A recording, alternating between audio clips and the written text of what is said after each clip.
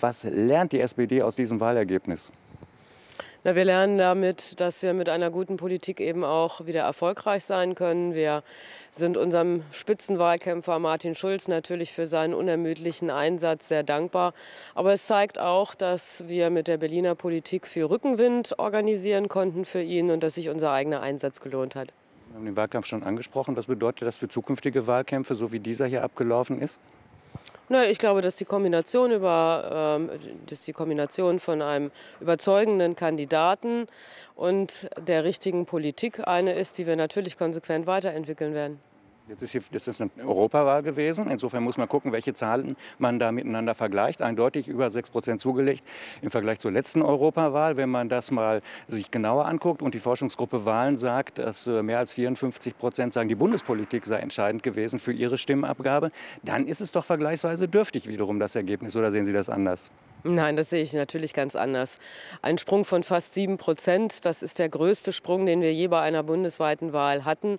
Und darauf kann man zunächst einmal verdammt stolz sein. Außerdem müssen wir berücksichtigen, dass wir in einem nicht ganz unproblematischen Klima die Europawahl abhalten mussten. Im Vergleich zu den anderen Ländern haben wir hier in Deutschland doch äh, die Rechtspopulisten sehr im Schach halten können und die demokratischen Parteien, insbesondere eben die SPD, stärken können.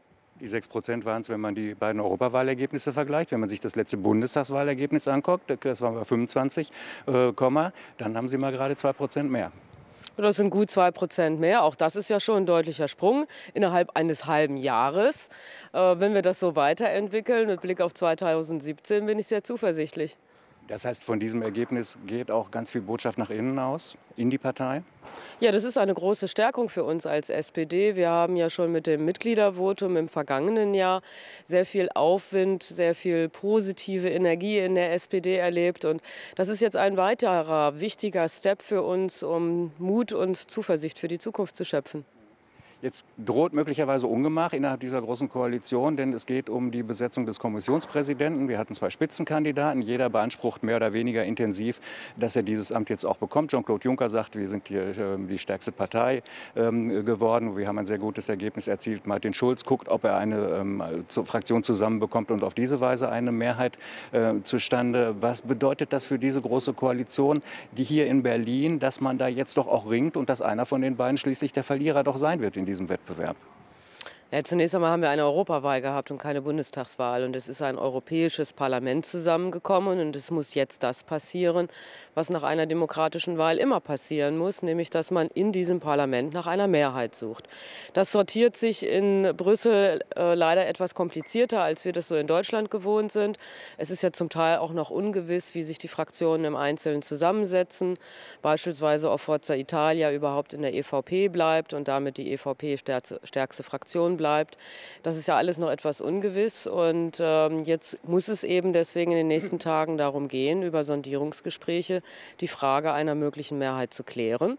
Und dann wird man das als gute Demokraten miteinander auch so auf den Weg geben und jeweils respektieren, wer diese Mehrheit bekommt.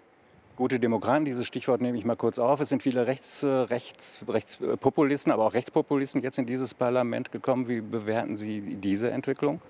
Ja, das ist eine sehr äh, eine Be Entwicklung, die uns natürlich mit viel Sorge bewegt. Es wird, wird, sicherlich in den nächsten Jahren so sein, dass diese Rechtspopulisten und zum Teil muss man ja auch sagen Faschisten sehr viel Störfeuer entwickeln werden. Das wird es nicht leichter machen. Ich versuche es aber trotzdem insofern äh, positiv zu sehen, als dass ich hoffe, dass die demokratischen Fraktionen damit umso dichter zusammenrücken und sich darauf konzentrieren, äh, sich nicht gegenseitig zu behacken, sondern gute Politik für die Bürgerinnen und Bürger nach vorne zu entwickeln. Ganz kurz zum Schluss, wie wird die SPD mit der AfD umgehen, die ja jetzt ein sehr gutes Ergebnis aus dem Stand erzielt hat und dadurch auch eine gewisse Präsenz erreichen wird? Wir werden deutlich machen, dass die Politik der AfD keine Politik ist, weil sie keine Lösungen anbietet, sondern nur populistische äh, Parolen schürt. Und ich hoffe doch, dass die AfD nur ein vorübergehendes Phänomen bleibt.